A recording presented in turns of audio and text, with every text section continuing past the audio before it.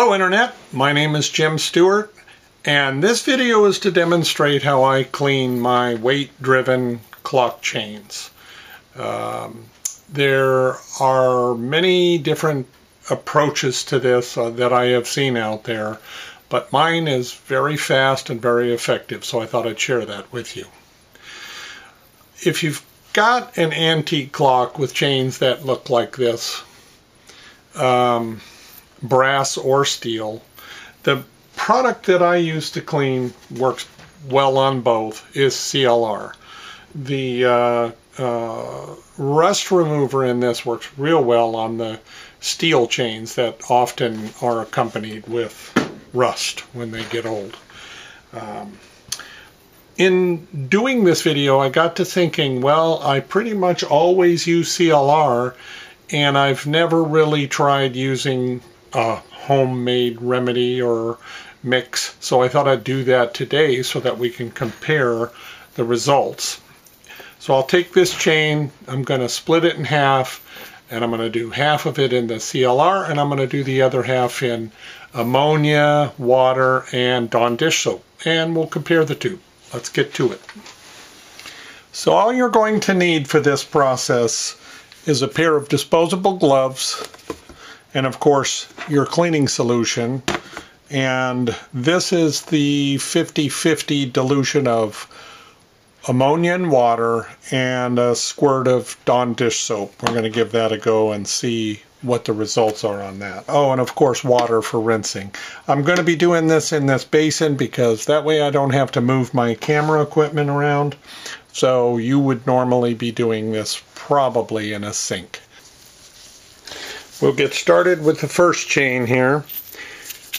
With your gloves on, you're just going to cup your hand and we'll start with the CLR and fill that cup with cupped hand with the cleaning solution and then just in a hand washing motion gently roll that chain through your hand as you can see, it's already, the, the dirt and grime is already coming off, starting to come clean.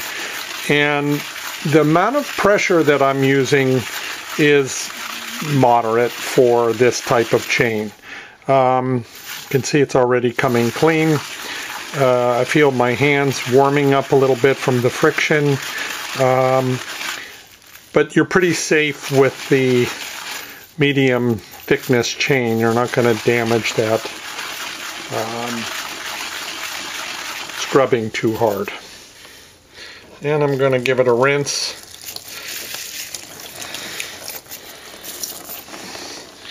Look how fast that comes clean.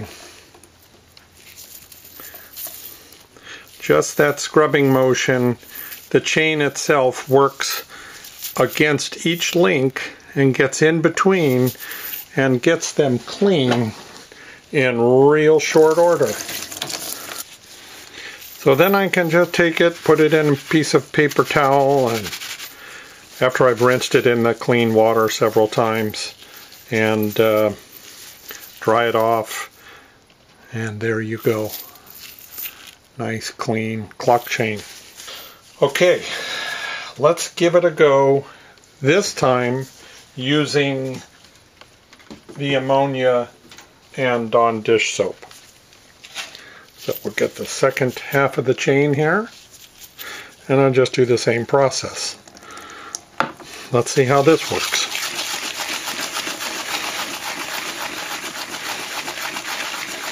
And rubbing till I feel the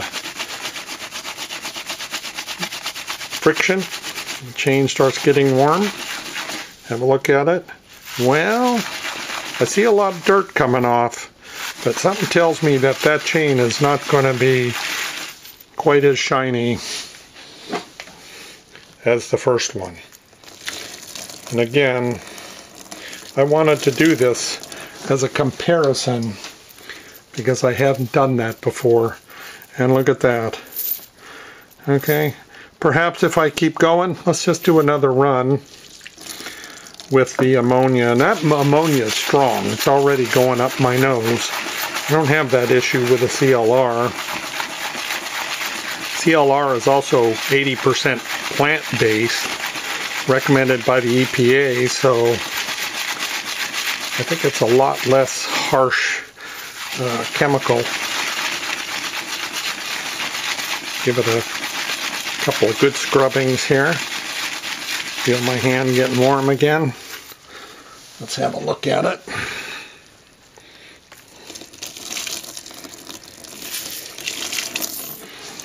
Okay, it's coming clean, but that's second run. Rinse my other hand off here. We can have a look at the two.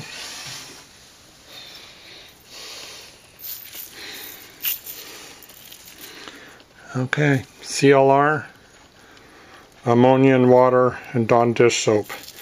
Looks like I'm going to have to go a third time to get the results that I got the, on the single run of the CLR. Okay, now I'm going to try this uh, steel chain and we'll use the CLR on it. Cup my hand, fill that cup up and start just scrubbing away here. Now with this thinner chain, usually typically used for novelty clocks, I don't want to over scrub or, or use too much pressure because the links are the, the links well the, the material to make the link is thinner and therefore it's a little bit more fragile. If you scrub too hard you can have the links catch one another and actually damage the chain I'll start separating so I'm just going to use a little bit more of a gentle amount of pressure and already you can see the orangish color coming off of this. Rinse my glove off. Nice and clean. I would say that one run on that is more than sufficient. Okay? Okay, grab a paper towel, throw it in there. Of course, like I mentioned, I'd be normally doing this in a sink with running water. It would be far easier. I could get all the muck off my hands before I handle it again. Very good. So yeah, you can see here, we got a little short section of brass chain connected to the steel. Here's a look at before and after. Again, here's before on the medium thickness and after. You can see the huge difference here. And on the real light or thin chain, almost turned it, well, didn't turn it, but it, it, it actually is almost a, a, a nice pewter color um, as opposed to this just rusty metal. Put them together here, you can compare them. Really came out nice. Okay, one thing I'm going to recommend, especially on the steel chain, is that after you've cleaned it, you want to make sure it's thoroughly dry. You can accomplish that with a hair dryer or you can do what I do is uh, warm up the toaster oven without the chain in it. Once it's warmed up to about 100 degrees or so, uh, shut it off, make sure the oven's turned off, and lay your chain in there for just a couple of minutes. You don't want to overheat the chain and cause it to start to blue. You can start to blue the metal and you may not want that effect. So just a couple of minutes or use a hair dryer and the chain is thoroughly dry so that it is not going to start rusting because it will rust rather quickly. Another way to uh, inhibit rust from forming on the steel chains, because once you've cleaned these things, if there was any protective coating on it, it's probably gone, um, and it was partially gone anyway because the chain was rusting. So I'm going to introduce a product that I use around the shop. Great stuff. It's called Boeshield T9. A little bit pricey, not too bad. I'll put a link in uh, bottom for you. uh, I use these on my tools that I don't want to rust after I've cleaned them thoroughly. Um, all my uh, clock shop tools are indoors, but I have some tools like hammers and things, sledgehammers that I use outside, and they're they're they're always when I'm going to grab them, they're a little bit rusty. Well, since I've been putting this T9 on them, I don't have that problem anymore. So I said, well, gee, why not use that on a chain?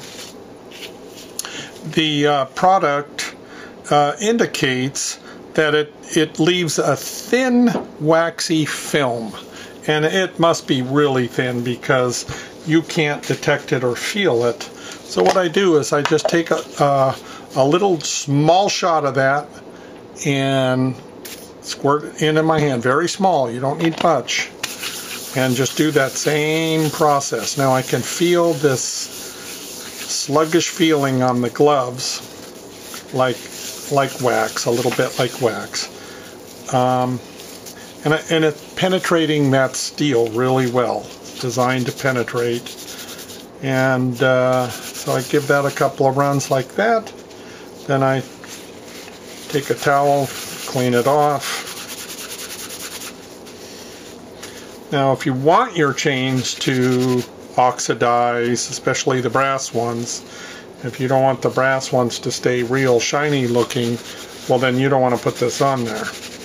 But if you do, if you have a clock that uh, you want the um, chain to remain nice and shiny, I don't know if you can see that comparison.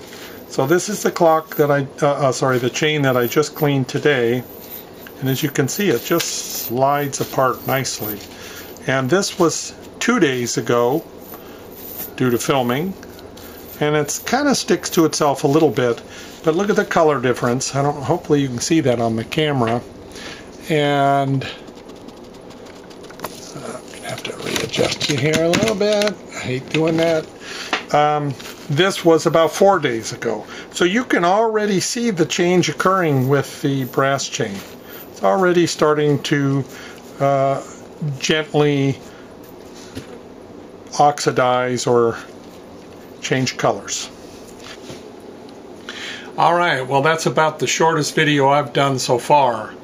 I want to thank you for watching and please subscribe if you haven't already. Thumbs up if you enjoyed the video and uh, click on the bell if you want to be alerted of future videos. And we will see you back here for another episode of Antique and Vintage Black Forest Cuckoo Clock Repair. See you then.